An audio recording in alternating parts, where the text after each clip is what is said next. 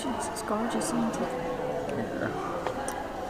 Everywhere Oxford will be like this. I love that, yeah. This is the Oxford of Krakow.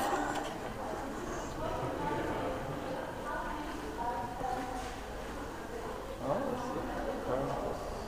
Afraid not, love.